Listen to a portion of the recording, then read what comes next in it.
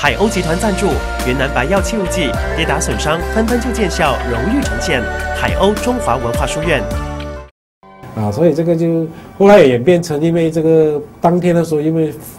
妇女啊，尤其是姑娘，一般上是散散步不出闺门的嘛。对。所以当天的时候也允许他们出来，所以后来演变成这个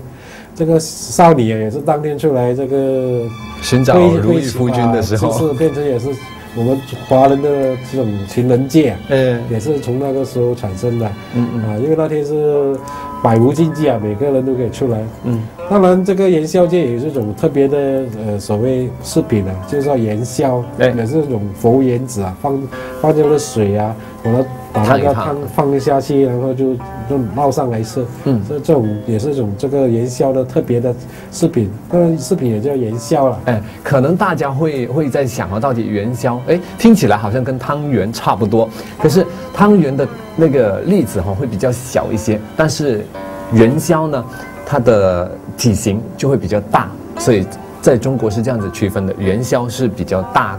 大颗的，而汤圆呢是比较小颗的来做的。那除了这个元宵节之外哈，像赏花灯。哦，情人节这样子的一个一个玩意之外呢，可是，在马来西亚呢，还有另外的一个一个做法，就是抛竿了。啊，这个抛竿也是我们马来西亚一个相当特别的一个一个风俗啊，演变成现在很多那些同马来同胞，一些印度同胞，他们也了解今天，呃，这个那那其实呃抛竿也是说那些未婚少女啊，就当天去到河边那边抛竿，希望遇到如意郎君啊，这个也是成为马来西亚一个特别的。非常特别的一个风俗了，这个抛竿，这个招招郎，这个所谓的这个这个所谓风俗啊，嗯哼，啊，这个是很特别的，来来到马来西亚演变成这个 特别的一个一个一个一个风俗了。所以啊，有机会的话呢，大家也可以看一看，或者是留意一下哈，我们马来西亚的这个抛竿文化。据说是女孩子就抛竿，就把自己的名字写在这个竿上面，然后自己的电话号码，对，然后跟着，如果是男生的话呢，就写在。一根香蕉上面，然后就抛到水里面去。那过了元宵节之后呢，大家的心情就会可能会平复下来，那大家就开始啊，在为新的一年就努力的工作。那跟着不久之后呢，就会来到清明节了。这个也是在马来西亚非常重视的一个节日啊。哎，那讲到清明节哈，呃，我还记得有一首诗歌是写有关清明节的吗？是是，这个是唐朝杜牧写的，是说。他写的是路上，呃，清明时节雨纷纷，路上行人欲断魂。借问酒家何处有？